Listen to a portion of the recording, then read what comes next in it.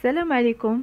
اليوم غادي نشارك معكم طريقتي في عمل سلطة الباذنجان أو الزعلوك فإلى عجبتكم الوصفة ما تنسوش ديروا لايك وتابوناو وتبارطاجيو لا فيديو.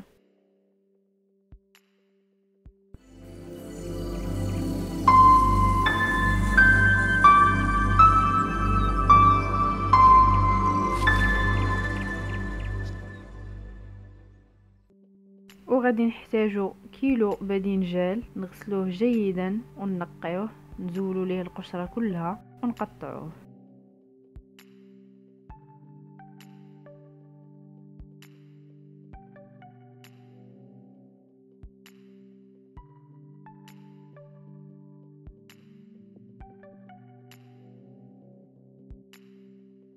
وغادي نحتاجو كذلك الفلفل. ماشي بالضرورة نضيفو الأحمر والأخضر. نقدر نضيفو غير الأخضر أو غير الأحمر. ولو تكون عندنا غير فلفلة وحدة نضيفوها كتعطي مذاق رائع للزعلوك.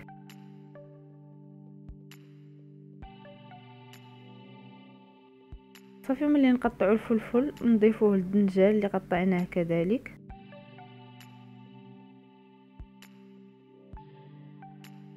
نضيفوا لهم نصف ملعقة ملح. والماء باش غنسلقوهم لأننا لأنني عندي غنسلقهم.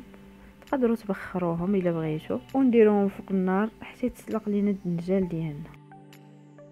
وغادي نحتاجو كذلك الطماطم اللي هنا خديت تقريبا 600 غرام. يعني مش بالضرورة تاخذوا 600 غرام تقدروا تاخذوا نص كيلو أو كيلو. يعني في هذه الوصفة العبار ماشي ضروري نغسلوها طبعا. ونقيوها ونقطعوها نزولوا ليها البذور عاد نقطعوها.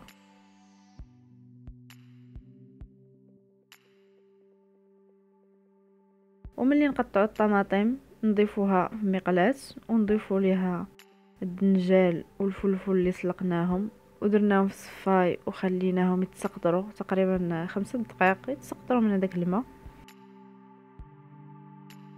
وغادي نحتاجو فص كبير من الثوم أو جوج فصوص متوسطة أو صغيرة.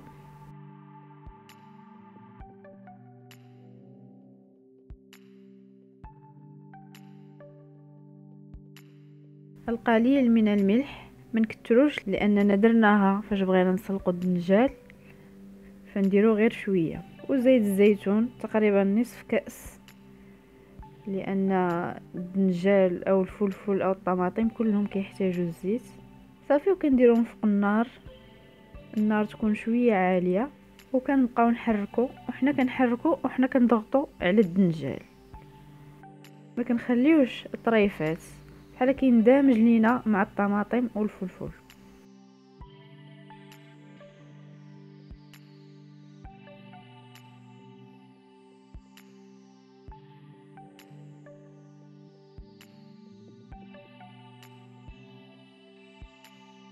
عاد ندوزو نديرو العطرية وغادي نحتاجو غير راس المعلقة ديال الفلفل الأسود أو الابزار نصف ملعقة كمون نصف ملعقة كركم ملعقة فلفل أحمر.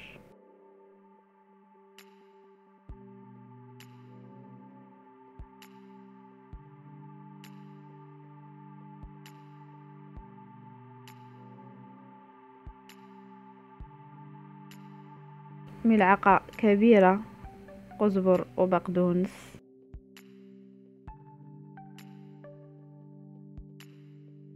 وغادي نضيفو كذلك الحامض مصير كيجي زوين والزيتون. صافي ونخلطو.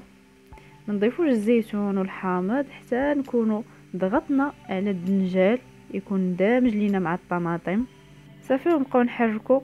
حتى نشفو الزعلوك ديالنا تماما من الماء. ما تبقى فيه حتى نقطة ديال الماء. كل ما نشفناه كل ما جا لذيذ صافي وهذا هو الزعلوك ديالنا. كيجي رائع. نتمنى تجربوه ويعجبكم.